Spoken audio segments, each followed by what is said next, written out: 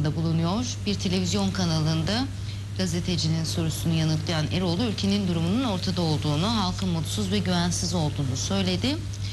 Ee, ülke gündemine ilişkin soruları da iştenlikle yanıtlayan e, Cumhurbaşkanı İhsan Küçük'ten sadece memleketin hayrına işler yapmasını istediğini ancak durumun ortada olduğunu, halkın mutsuz ve güvensiz olduğunu söylüyor. Ee, Başbakanlığı döneminde ekonominin çökme noktasında olduğunu hatırlatan Cumhurbaşkanı bir program dahilinde gerekli tedbirlerin alındığını ve bazı sıkıntıların çözüldüğünü ifade ederek aslında geçmişte hatırlatmalar yapıyor ve İhsan Küçük hükümetiyle ilgili ilişkileri e, yönelik bir soru üzerine ise sistemkar açıklamalarda bulunuyor diyor gazete. E, kendisinin hükümete yakını kurmak istediğini ancak gerekli karşılığı göremediğini de vurguluyor.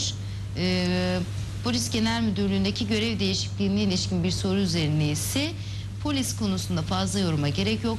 Bana imzaya geldi, imzaladım. Gelen arkadaşımız gerek tahsil gerek tecrübesiyle bu görevi yapmaya uygundur. Daha fazla söze gerek yok diye de e, bu konu üzerindeki de görüşlerini de ortaya koyabiliyor. Durum vahim diyorsa Cumhurbaşkanı ve halk mutsuz ve güvensiz diyorsa artık fazla söze gerek yok. Artık ne yapılabilir konusunda ciddi tedbirlerin alınması gerekiyor. Ee, ama bu tedbirlere yukarıdan başlanıldığı takdirde en aşağıya kadar da e, bu tedbirlere, bu birlikteliğe biz varız diyen halkımızı, insanımızı göreceklerdir. Bunlardan kuşkusu olmasın.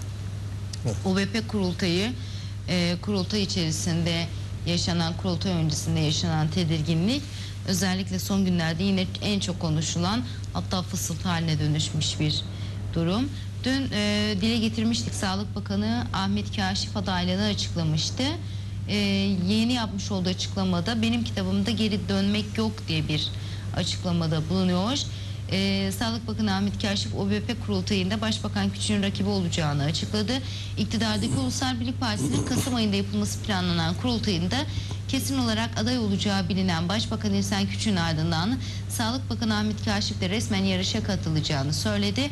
Her Ulusal Birlik Partisi'nin içinde başkanlık adaylığı yaptığını söyleyen Kaşif, benim de içimde bu arzu vardır bir süre ertelenmiş bir adaylık söz konusudur diyor. Ee, ve geri dönmek, geri adım atmak olmadığına da dikkat çekiyor. Bu arada biz Sağlık Bakanı ile dün e, bir telefon görüş bağlantısı gerçekleştirdik. 20 Temmuz sonrasında Sayın Kaşif ART ekranlarında Kuzey Kıbrıs Türk Cumhuriyeti gündemi programında olacaklar. Bunu da hemen hatırlatmasını yapalım. Ülkenin var olan sorunlarına baktığımızda nelerdir diyoruz? İşte Ulusal Birlik Partisi kurultayı ve kurultayda yaşanan gerginliğin Kıbrıs Türk halkına yansıması, ülkeye yansıması. Ee, Devkuşa Türk Belediyesi'ndeki durum, telefon dairesi, tele, telekomünikasyon dairesi, bununla birlikte elektrik kurumunda yaşanan kriz, dairelerde bu özelleştirme, özelleştirilme, e, sendikaların tavırları, işçi haklarının gasp edildiği yönünde iddiaları, e, muhalefetin tavrı. Muhalefet ve iktidar gerçekten görevini size göre yerine getiriyor mu? Hayır getiremiyor. Neden Ee, hayır? Kaldı ki bu parlamenter sistemde e, maalesef e, halka hizmet edebilme anlayışı kalmamıştır. Tam da onu söyleyecektim ben. E, rahmetli Rauf Denktaş zamanında hep işte başkanlık sistemi de tartışılırdı. E, herkes e, ya da yaygın bir kanaat e, işte Rauf Denktaş kendi başkan olmak istiyor ve ömür boyu kalmak istiyor gibi bir durum vardı. Tam tersine e, Rauf Denktaş da artık parlamenter sistemin çalışa- çalışamayacağını, halka yeterince hizmet veremeyeceğini gördüğü için e, önermişti ama gelin görün ki e, orada anlaşılamamıştı rahmetlik. E, kaybettik kendisini fizik olarak aramızdan gitti. Şimdi artık Eminem tüm bu sorunlarının e, çözülmesinin yegane e, artık unsuru başkanlık sistemine geçmiş geçmek olmalı diye düşünüyoruz. Çünkü başkanlık sisteminde biliyorsunuz hem kuvvetler ayrılığı hem denetim hem de anayasayla birlikte seçim ve halk oylaması yasası, siyasal partiler yasasının tekrar dizaynı düzenlenmesi söz konusu. Deyim yerinde sil baştan yeni bir anlayışın geliştirilmesi söz, söz konusu. Hem siyasette hem yönetenlerde hem de yönetilenlerde hem yani yurttaş yıllık bilinci de e, değişmeli bu süreç içerisinde. Hem de yönetenlerin de yönetim anlayışı değişmeli. Yani siyasi partiler biliyorsunuz siya- e, siyasi partiler ülkenin olmazsa olmazı. Halka hizmet aracıdır da aynı zamanda siyasal siyasal partiler. E, siyasetçiler de bunun e, uygulayıcısıdırlar. Ama gelin görün ki e, siyasi arenaya baktığımızda yeterince e, halka hizmet anlamında mesafe alınamadığını görüyoruz. Bunun da çeşitli gerekçeleri vardır. İşte bir ülkemizde e, parlamenter sistem e, adıyla e, olan alınan sistemin aslında e, bir taraftan da başbakanlık sistemi olduğunu biliyoruz. Yani büyük ortak ya da hükümeti tek başına idare eden e, anlayış e, istediği şekilde e, faaliyetlerini ve icraatlarını gerçekleştirir. İşte muhalefetin e, sesi ya da diğer sivil toplum örgütlerinin sesi e, birçok kere e, yeterince anlaşılamadı, dinlenemedi, dinlenmedi ve e, dikkate alınmadı. E, parlamenter sistem e, seçenle seçilen arasındaki ilişkiyi maalesef doğru bir şekilde tanımlayamıyor.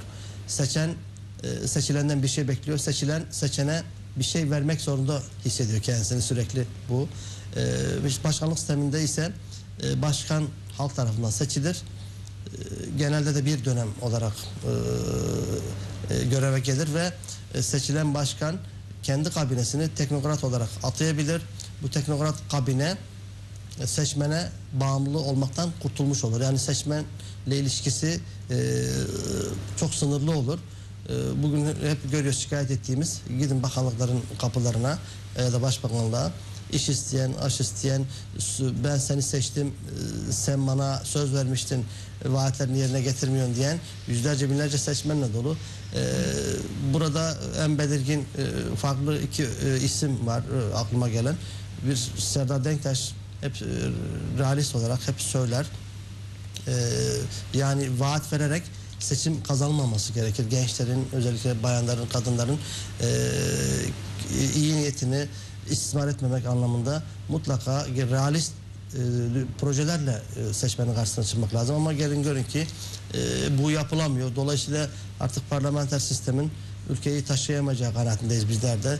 E, bütün bu lokal sorunların da e, üstesinden gelinebilmek için sil baştan e, olması gerekir. Bunun da başkanlık sistemiyle ve anayasanın yeniden dizayn edilmesiyle seçim ve halk oylaması yasası ve siyasal partiler yasasının tekrardan düzenlenmesiyle ancak Başkanlık sistemi yani. evet başkanlık sistemi birçok hadiseyi e, hadiseyi çözebileceğine inanıyoruz. Bu ülkede başkanlık sistemi getirilmeli. Küçük ülkede e, siyasi uzlaşmanın önüne de geçilmiş olacaktır böylelikle dediniz. Evet. E, boş vaatler, söylemlerin aslında karın doyurmadığını e, ama buna rağmen hem siyasetçinin hem de e, genel anlamda vatandaşın bireysel olarak mağdur olduğunu görebiliyoruz. Dün de aslında bu konuya değindik. E, bireysel çıkar mı, toplumsal çıkar mı, neden böyleyiz? Niye hep bir vaatte bulunmalarını istiyoruz? Gerçekleşmeyecek duaya ısrarla neden amin diyoruz gibisinden Kesinlikle. söylemlerde. Ee, bakalım durum ne olacak? Yeni meclis açıldığında meclisin durumu ortada. Şimdi geçen gün bir yorum yapıldı. Bu kadar kriz var ülkede. Meclis tatili çıkmalı mıydı? Yani yeri ve zamanı mıydı ee, diye. Bir başka e, yorum vardı. Bununla bağlantılı yine.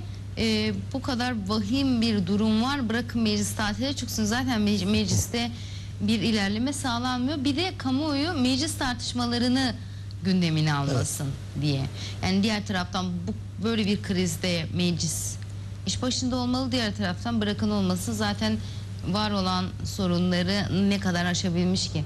Özellikle son yıllarda meclisteki tablo inandırıcı, e, çok fazla düşündürücü ve e, eski parlamenterler tarafından da yapılan açıklamalarda büyük eleştirilere maruz kaldıklarını e, görebiliyoruz. Eskiden en azından bir saygı vardı. Bugün o saygıyı da kaybetmiş durumdayız diyen eski çok değerli bürokratlar olduğunu da e, milletvekilleri olduğunu da unutmamak gerektiğini belirtelim isterseniz. E, onun ötesinde neler yapılmalı Kuzey Kıbrıs Türk Cumhuriyeti'nin tanıtılmasını istiyorsak. Mesela, mesela müzakere sürecinde sizin görüşünüz nedir? Müzakere sürecinde e, maalesef ben rahmetli Rauf Denktaş'a da o zaman onunla da paylaşmıştık. Türkiye'de Süleyman Demirel'ler e, vesaire birçok değerli isimle bu konuları tartıştık. E, Kuzey Kıbrıs Türk Cumhuriyeti gerçekten de e, iyi niyette kuruldu. Ancak gelin görün ki e, Emine Hanım e, onu tanıtmak için herhangi bir girişimde bulunamadık, bulunmadık. Bilmiyorum artık Türkiye'nin dış politikası gereği mi ya da koşulların uygun olmaması gereği mi e, tanıtılması konusunda herhangi bir girişimde bulunmadık. Ancak 2004 sonrası kısa döneme gelirsek hem zamanımızı kullanma açısından e, anlam planı döneminde tüm emperyalist dünyanın bize bir sözü var. Ee, evet deyin, e, halkınız evet desin. E, birçok şey sıkıntı aşılacak, izolasyonlar kalkacak, e, tanınma olacak vesaire. O zaman günleri hatırlıyorum ben. E, Şu anki ana vatanımız Cumhurbaşkanı Abdullah Gül de e, ülke KKTC'nin tanınması için ben e, adım adım gezeceğim, ülke ülke gezeceğim dedi. Geziyorum, gezdim her yerde Evet. Kuzey Kıbrıs Türk Cumhuriyeti'ni anlatıyorum da demişti. Yani Evet. baktığımızda Türkiye hükümetlerinin bugün için AK Parti hükümeti ama genel anlamda bugüne kadar Türkiye'yi yönetmiş olan, Türkiye iktidarında olan herkesin her gittiği yerde Kıbrıs Türk halkını ve Kuzey Kıbrıs Türk Cumhuriyeti'ni gündeme aldığını da biliyoruz. Yani bu yönde bir söylem e, Ama vardı Sayın olarak, Cumhurbaşkanı'na. resmi olarak benim ifade etmeye çalıştığım resmi bir talepte bulmadık. Ne BM'ye ne AB'ye ne de işte İslam ülkeleri nezdinde. Sonra da biz tanınmadık diye böyle Evet evet burada kendi içimizde e, Türkiye Türk kampanyası yapmaya devam ediyoruz. Artık bunlardan sıyrılmamız lazım. E, ne olur eğer KKTC tanınamayacaksa e, Kıbrıs Türk Devleti ismiyle e, artık halkımız e, dünyayla bütünleşsin, ana vatanla daha da bütünleşsin. Ve nitekim de yapılan çalışmalar o yönde e, aldığımız bilgiler, duyumlar.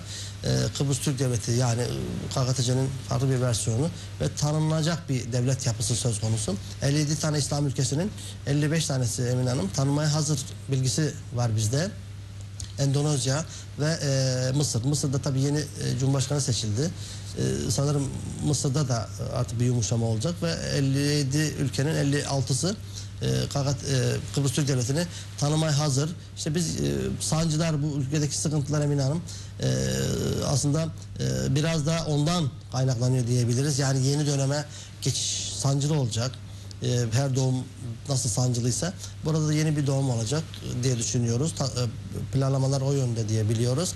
E, geçiş sürecinde mutlaka sancılar ve sıkıntılar olacak. İşte başkanlık sistemi, yeni devlet, tanınan bir devlet, kendi ayakları üzerinde duran bir devlet, sil baştan yurttaşlık bilinci gelişmiş, e, anayasası, seçim ve halk oylaması yasası, siyasi partiler yasası ve meclisteki anlayış da halka hizmet etmeye gelecek olan adayların da anlayışının da değiştiği e, bir sürece doğru gitmek zorundayız. Bu bir zaruriyettir. Eğer kendi isteğimizle gitmesek Emin Hanım sürüklenerek gideceğiz, zorlanarak gideceğiz. Çünkü içteki sorunları çöz- çözmek çok zorlaşıyor. Dışta da ifade ettiğiniz gibi uluslararası baskılar ana vatanımız tarafından e, göğüslenmeye devam ediyor ama e, Türkiye'de artık e, kararını verdi diye düşünüyoruz. Tanınan, kendi ayaklarının üzerinde duran bir devlet yapısına doğru e, gidiyoruz. E, bu biraz da sancılı olacak gibi çünkü bizim hazırlığımız yok, planlamamız yok, öngörümüz yok. Öngörümüz de olmadığı için e, ana desteğiyle, e, ana planlamalarıyla e, be- belirli bir e, yola, bir mecraya gireceğiz diye düşünüyorum. Şimdi aslında müzakere sürecini değerlendirirken ülkenin lobi çalışması konusunda ne kadar zayıf olduğuna dikkat çekiyoruz. Evet. Ee, bununla birlikte Kuzey Kıbrıs Türk Cumhuriyeti'nin tanıtılması için gerçek anlamda nasıl resmi bir adım attık diye Evet. e, açıklamanız var. Ama e, buraya kadar güzel de hani eğer Kuzey Kıbrıs Türk Cumhuriyeti olarak tanınmayacaksa başka bir isim altında ilerleyen. Yani bir devlet ciddiyetinde sürekli isim değiştirmek çünkü bu çok fazla Doğrudur. tartışılıyor. İslam Konferansı Teşkilatı'nda İslam e, Kıbrıs Türk Devleti işte anlam planı devrimde Kıbrıs Türk Devleti yani sürekli biz elimizdeki kimliği değiştirip sırf bizi tanımaları için farklı isimler mi kullanacağız? Dün Kıbrıs Türk Federe Devleti, bugün Kuzey Kıbrıs Türk Cumhuriyeti, yarın Kıbrıs Türk Devleti. Olmamalı aslında. Ama siz de aynı şeyi savunuyorsunuz. Ama- Onun için yani Anladım. isim değiştirmek önemli değil ki. Önemli olan e, var olan bir e, ülkeyi yaşatabilmek, tanıtabilmek, kendi içindeki sorunlarını başta çözebilmek. E, evet tanınma bizim elimizde olan bir durum değil. Amerika'ya bizi tanıyacaksın diyemeyiz ya da dünyanın herhangi bir ülkesine Kuzey Kıbrıs Türk Cumhuriyeti'ni tanıyacaksın diyemezsiniz. Bunu empoze edemezsiniz ama siz bir devletin e, demokratik bir devleti oluşturarak bu yapıyı kendi içinizde de sağlamlaştırabilerek e, ortaya çıkabilirsiniz. Tanıyın ya da tanımayan. Kuzey Kıbrıs Türk Cumhuriyeti bir devlettir. E, bu tarihte kurulmuştur ve yaşatılmaya devam edecektir. Bu birilerinin tanıması ya da tanınmaması anlamına gelmemeli. Yani biz kendi içimizdeki sorunları ne kadar aşıyoruz ki iç sorunlara bakmakla. İsim Tamam. değişikliği çok da önemli değil. Hatta hiç önemli değil ki bir şeyin ismini ne kadar çok değiştirirseniz e, o şeye karşı bir güvensizlik söz konusudur. Bu her şeyde karşımıza çıkabilir. İşte bu yine öngörüsüz e, politikalarımızın e, sonucu bu aslında. 1963 te Kıbrıs Cumhuriyeti'nden atıldıktan sonra Kıbrıs Türk tarafı e, Emine Hanım bir kez bile biz e, ne BM'ye ne AB'ye işte mağdur olduğumuzu, biz acı çektiğimizi, zulüm altında olan bir toplum olduğumuzu hiçbir kez bile yazılı bir metne dönüştürmedik. Bakın Tarihçiler var. Yani onun için de çok şey yapmanıza gerek yok. Hayır, Eğer uluslararası bu- camia bak, siz sizi dediniz ya. duymuyorsa, görmüyorsa, bilmiyorsa onlara da yapın. anlatmanız lazım ama bakın siz de dediniz yani lobicilik çok önemli. Ee, sürekli insanlar çalışıyorlar. Ee, z- zulmedenler e, sanki mazlummuş gibi sürekli hareket ediyorlar. Yani uluslararası arenada bak siz ne kadar sesiniz çıkarsa, siz ne kadar e, bağırır çağırırsanız haklını haklı olarak e, haklı bir taraf olarak siz alınırsınız. Biz ise sessiz kalarak e, mağdur olduğumuzu e, sessiz kalarak ifade etmeye çalıştık. Bu yeterli değil. Uluslararası çünkü karşınızda e, dini, dili farklı e, ülkeler var. Yani Türkiye Cumhuriyeti bile AB'ye niye almıyor? En büyük nedeni Hristiyan grubu olması. Yani bunu bilmek için çok kain olmaya gerek. Yani biz buna göre politikalarımızı belirlememiz lazım. Ne karşınızda dev bir dünya, e, Müslümanların işte Türk ulusunun gelişmesini istemeyen bir, bir yapı, egemen bir yapı var. Siz onu sürekli onları aşındırarak, onları ikna ederek, onların üzerine giderek, atak politikalar geliştirerek ancak e, onların saldırılarını durdurabilirsiniz. Yoksa siz hep savunmada kalırsınız Emin Hanım. Onlar sürekli üzerinize gelirler. Haksız olmalarına rağmen biz 63'te Cumhuriyet'ten atıldık. Ee, hiçbir kez bile haklı e, pozisyonumuzu resmiyete dökmedik. Dökemedik. Sadece Rauf Denktaş birkaç kez girişimde bulundu. Ama bu devlet politikası olması lazımdı. Türkiye'nin burada çok atak olması lazımdı. Mağdur taraf olduğumuzu tüm dünyaya ilan etmemiz lazımdı ve bunu sürekli hale getirmemiz lazımdı. Seks, ifade ettiğiniz 75'te e, Federe 76'da ve 83'te de KKTC'yi kurduk. Ondan sonraki süreçte de yine biz mücadelemizi sadece içe yönelttik. Yani eğer siz dünyayla birlikte yaşamak istiyorsanız dünyanın anlayacağı dilden, dünyanın e, anlaması gereken dilden de konuşmanız lazım. Ona göre politikalarınızı geliştirmeniz lazım. Ona göre sürekli atak e, politikalar geliştirmeniz lazım. Bu konuda sınıfta kaldık. Türk dış politikası e, niyetinden niyetini sorgulamıyoruz ama e, eyleme baktığımızda gerçekten de e, e, sınıfta kaldığını ben ifade ediyorum. Şimdi yeni yeni c- canlanmaya çalışılıyor. Orada da tabi bu coğrafyamızdaki sorunlardan dolayı Suriye hadisesi diğer hadiselerin de öne çıkmasından dolayı e, Türkiye eylemi ama e, bu coğrafyada Türkiye'nin de daha elinin daha da güçleneceği kanaatindeyiz. İşte siz de anlattığınız programın başında su geliyor buraya, elektrik geliyor ana vatandan. Sadece e, Kuzey Kıbrıs'a gelmiyor. Bu e, Rumlara da e, hem su hem elektrik olarak e, dönüşebilir. E, onu bırakın İsrail'e kadar da uzanabilir. Türkiye böyle de İsrail'de de Müslüman Evet, evet. diyorsunuz. e, Türkiye Cumhuriyeti gerçekten böyle bir yapı içerisinde, böyle gelişen bir yapı içerisinde ve nitekim de bu projenin ilk kez Türkiye'de uygulandığını e, biliyoruz. Dünyada bunu kabul etti. Dolayısıyla Türkiye barışçıl po- politikasını e, gelişen e, durumuyla devam ettiriyor. E, onun için e, bizim pozisyonumuzun daha da güçleneceğini, uluslararası pozisyonumuzun pozisyon pozisyonun lehimize e, değişeceği kanaatindeyiz biz Atatürk Yaşam Derneği olarak. Önümüzdeki süreçte e, halkımızın gerek KKTC e, ol- olarak kalır veya e, Kıbrıs Türk Devleti olarak da is, isimler artık e, çok şey değil. O, oraya takılmak istemiyoruz. Ama halkımızın hak ettiği e, tanınmışlık e, sağlanacak diye düşünüyoruz. Çok kısa zaman içerisinde. Bunu da işteki işte ev ödevlerimizi kendi iş evimizin dizaynını gerçekleştirirken Türkiye dış politikası da boş durmadığını biliyoruz. E, aldığımız bilgiler o yönde. Türk dış politikası da yeniden e, dizayn ediyor burayı. Bu bölgedeki Türkiye'nin gerçek pozisyonunu, gücünü e, yeniden e, dizayn anlamında Türkiye bunu değerlendiriyor, bunu kullanıyor. Bu ABD'nin de işine geliyor aslında. İsrail'in de, e, büyük devletlerin de, İngiltere'nin de e, bu coğrafyanın gerçekten güvenli e, bir coğrafya olması hem yeraltı kaynaklarının kullanılması, kullanılması anlamında hem yerüstü kaynaklarının paylaşılması anlamında tüm neredeyse emperyalist güçlerin de menfaatinin artık e, belirli bir noktaya geldiğini tahmin ediyoruz. E, savaş istemiyorlar, burada barış istiyorlar. Bizler zaten barışçı halkız. Acı çektik yıllardır, e, sömürüldük, e, dışlandık. E, ama bunun da artık bir son bulması gerekir. Hem kendi üzerimize düşen ev ödevlerini yaparken... Nutuktan öteye gitmek gerekir. En önemlisi aslında bu. Yani isim değiştirme konusunda hala da size katılmıyorum. Gerçi hoş Evet. bizim sözümüz ya da bizim görüşümüz ne kadar dikkate alındı bu da aslında önemli değil ama nutuk atma politikasından da Evet. kurtulduğumuz vakit bence Evet, daha evet. ciddi adımlar atılacaktır. Kesinlikle. Barış ve Özgürlük Bayramı'nın 38. yıl dönümü Mersin'de de kutlanacak. Bunu da hatırlatmasını yapalım sevgili izleyiciler. 20 Temmuz Mutlu Barış Harekatı Kuzey Kıbrıs Türk Cumhuriyeti'ni Kıbrıs Türk halkını değil genel anlamda e, Rumlara da barış getirmiştir ve 1974'ten bu yana Kıbrıs'ta e, herhangi bir e, sorun, sıkıntı yaşanmamıştır. E, Sayın Ecevit'i rahmetle anıyoruz. Onun sözüydü. Sadece adının e, Türkiye gö- götürmüyoruz. Aynı zamanda Rum için de barışı sağlıyoruz diye. Kıbrıs tarihi e, ne baktığımızda Kıbrıs tarihinde Kıbrıs Türk halkının çekmiş olduğu zulüm hala daha bugün Kıbrıs'a tanıklık etmiş, e, tarihi tanıklık etmiş insanlardan öğrenebiliriz. Çok uzağa gitmeye gerek yok. Yanı başımızda olan insanlardan e, o günün anısına, o gün yaşanılmışlıkları öğrenmenin de altını çizebiliriz. E, az önce söyledim Barış e, ve Özgürlük Bayramı'nın 38. yıl dönümü Mersin'de de kutlanacak. Yıl dönümü nedeniyle biri Mersin, diğeri Silifke'de olmak üzere iki tören yapılacak.